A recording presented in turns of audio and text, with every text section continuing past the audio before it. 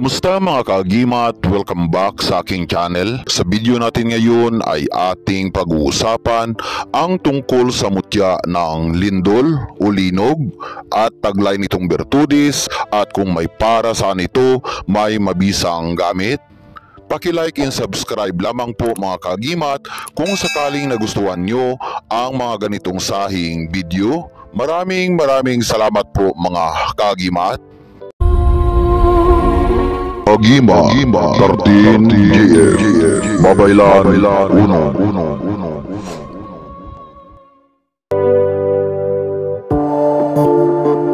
Bago ko po umpisahan ang ating video talakayan ay gusto ko po munang magpapasalamat sa lahat na sumusuporta sa aming YouTube channel, sa lahat ng mga nag-like, na nag-subscribe sa aming channel, sa Agima 13, JF Babaylan Unom at lalo na sa mga sumali sa aming membership channel. Maraming maraming salamat po mga kagimat at pati na din sa mga followers sa aming shop doon sa may Shopee sa Agima 13 JF Babaylan Unom. Maraming maraming salamat po mga kagimat.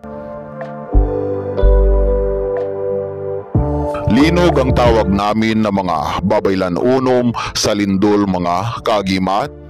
Alam niyo ba mga kagimat na ang lindol ay mayroon ding sikritong sangkap agimat na tinataglay? Ang lindol ay nagtataglay din ng mga mutya, hiyas at trabungko pero paano ba makakuha ng sikritong agimat na nanggaling sa lindol?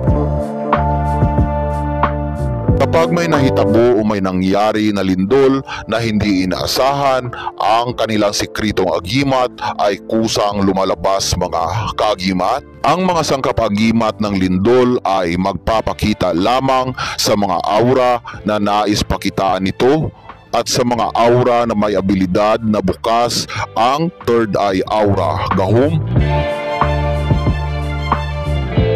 Tungkol naman sa may kagahong bertudis o kapangyarihan ng ganitong sangkap ay isa itong agimat na makakatulong upang mas lalong mapalakas at mabalanse ang enerhiya ng ating buong chakra.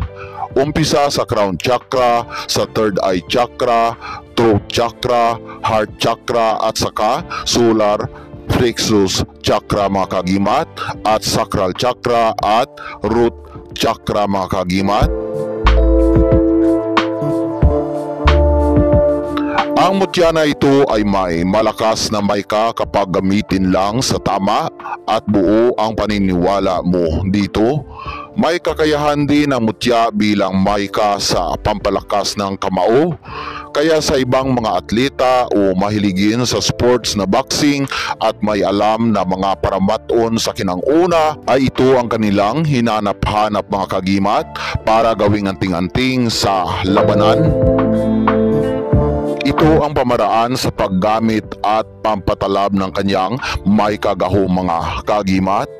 Kung sakaling gagamitin itong sangkap, agimat, kapag ikaw ay sumali sa mga sports tulad ng boxing, ito ay ibabad lamang sa tubig mga kagimat at ang pinababara ng mutya lindol ay siyang gawin na inumin bago sumabak sa mga laban dahil hindi naman ito pwede na ikwintas habang naglalaro ka sa sports ng boxing kaya ang mainam na gagawin mga kagimat ay ibabad lamang ito sa tubig at inumin na ang tubig na pinagbabara ng mutya lindol bago sumabak sa laban kung boxing na sports ang sinalihan mo mga kagimat.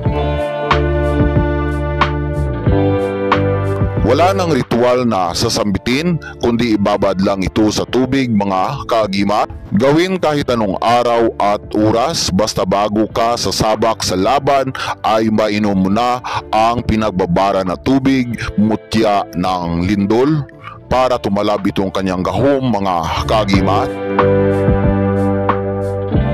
Ang mutya ng lindol ay may mabisang mahika din sa pangwasag o pangwasak ng mga sahit-sahing mga armas, pangburta sa aura ng mga baril, hindi putukan ng baril at sasabog ang mismong baril balik sa kalaban kapag sakaling ipitik niya ang gatilyo kontra sa iyo mga kagimat at kahit nakatalikod ka ay kayang depensahan at proteksyonan ka ng agimat na ito laban sa mga hindi inaasahang mga panganib at mga disgrasya.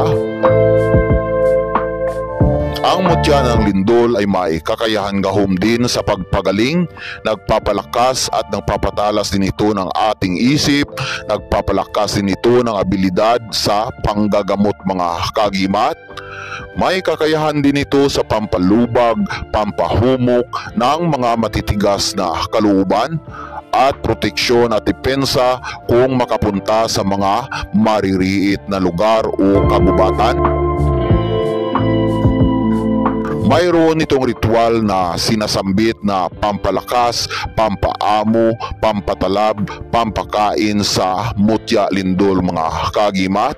Maliban sa divine oil aura, babaylan unom na panghaplas din sa katawan ng mutya ay ang ritual na ito ay ganun din ang kanyang kakayahan may kakayahan na palakasin at buhayin ang aura ng agimat mutya ng lindol. Ituturo ko dito ang sagradong ritual naming mga babaylan unom para sa ganitong sangkap at magagamit nyo itong ritual mga kaagimat kapag sakaling mayroon kayong sangkap agimat na galing sa linog o lindol. Tatlong beses lamang ito sasambitin ang ritual na pabulong mga kagimat sa mutya Pagkatapos masambit ang ritual ay ihip ng pakros patuhoy sa katawan ng mutya ng lindol. So ito po ang ritual mga kagimat. Tiray mutus istrum calamitatis ab omnipotenti. Dio iu ni kud rubor in cognosis sicut dominus cunio ngis it furtis iris in nomine, sulius di omnipotentis.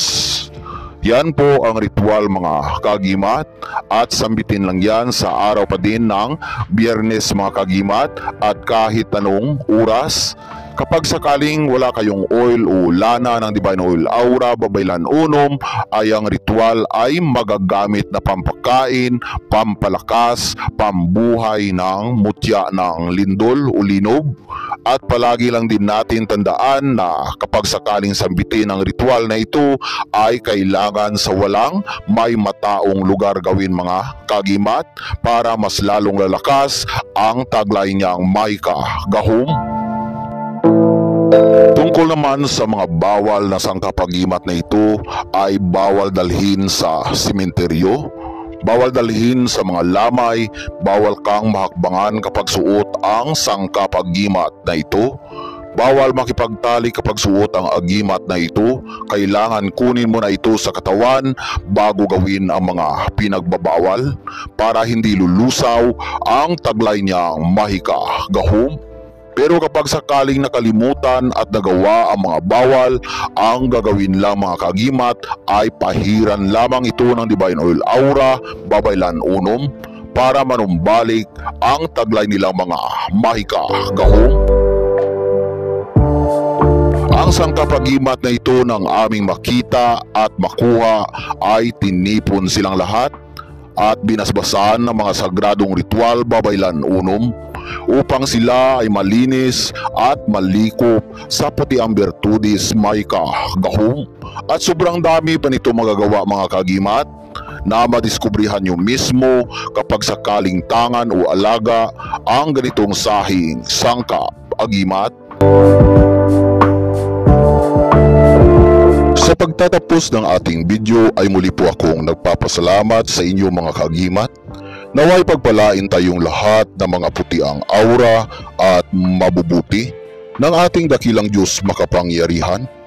Ilayo sa mga sakit, iliwas sa mga hindi inaasahang mga panganib at likupin ng kabanal-banalang birtudis niyang gahong at ibuhos ang swerting bugna